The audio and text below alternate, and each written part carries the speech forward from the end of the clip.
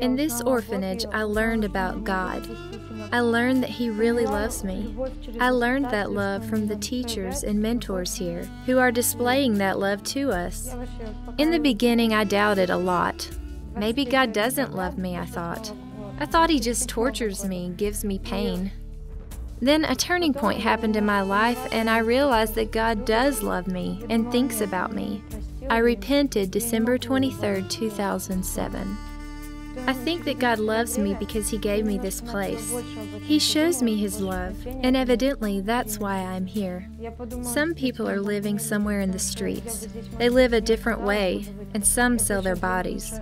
But here I met God, and I realized that there is no other life without Him. He found me here, and this is my decision to get baptized and to give a promise that I will serve Him all of my life.